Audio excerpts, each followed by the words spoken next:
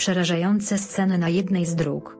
Trzy osoby zginęły, dwie zostały przewiezione do szpitala. Tragedia w Wodzisławiu Śląskim. Doszło do zderzenia dwóch samochodów osobowych, jeden z nich dachował. Trzy osoby zginęły w wypadku drogowym, dwie zostały przewiezione do szpitala. Wypadek w Wodzisławiu Śląskim. Byli zakleszczeni w autach.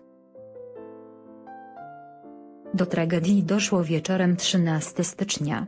W sobotę około godziny 20.30 zdarzyły się dwa samochody osobowe Peugeot i Audi.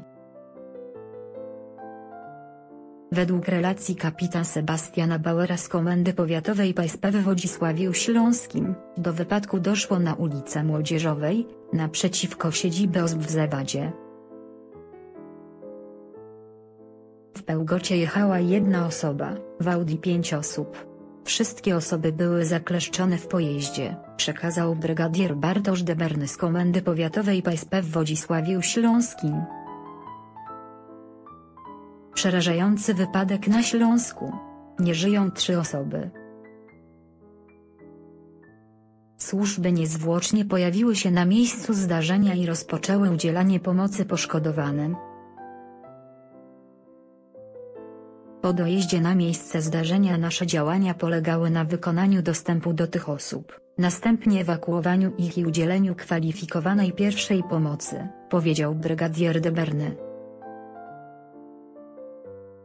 Jak dodał, osoby poszkodowane zostały następnie przekazane ratownikom. Nie udało się uniknąć tragedii, zginęły trzy osoby. Dwie osoby zostały zabrane przez pogotowie, a jedna nie wymagała udzielania pomocy, poinformował.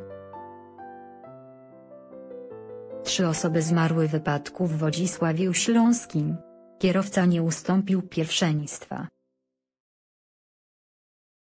Policja Śląska za pomocą komunikatu na platformie Facebook poinformowała o wstępnych ustaleniach co do przyczyny tragedii. Kierujący samochodem Peugeot skręcając z ulicy Młodzieżowej w Paderewskiego nie udzielił pierwszeństwa przejazdu kierującemu osobowym Audi jadącemu ulicą Młodzieżową, napisano,